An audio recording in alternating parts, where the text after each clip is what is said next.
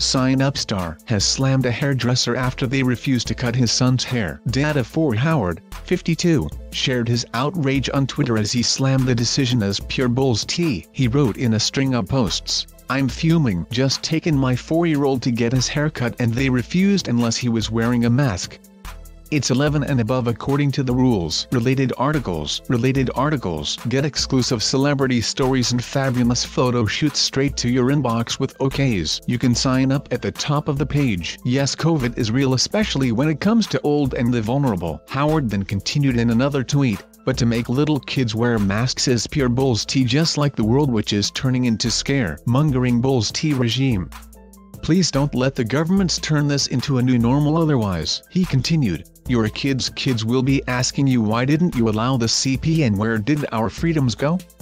The hairdresser in question obviously took the scaremongering to a whole new level which unfortunately is where society is going unless we stand for our freedoms back. Howard's tweets received more than 1,000 likes from fans, but some didn't agree with his outrage. One critic wrote, it keeps breaking out of you, doesn't it? The idea that freedom is in danger, that Bill Gates wants to force us all to get vaccinated so he can take over the world. That's so stupid. There are so many things in Britain that threaten your freedom, Brexit etc. Why not fume at that?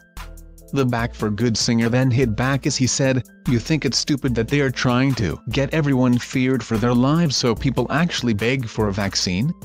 Sick that's the way it's going. Freedom is maskless and to breath true oxygen and go where you want to go without people looking at you like you are a disease. Meanwhile another critic urged the star to stick to singing Howard and stay out of politics. The two should never go hand in hand. It's absolutely heartbreaking to lose someone to COVID.